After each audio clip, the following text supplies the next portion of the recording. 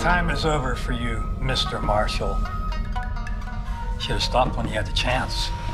I'm gonna prosecute you with your own system. I am judge, jury, and executioner. Vengeance is mine. Ginzes are a one-man jury. We are equality over imperialism. And now, Marshal, the choice is yours.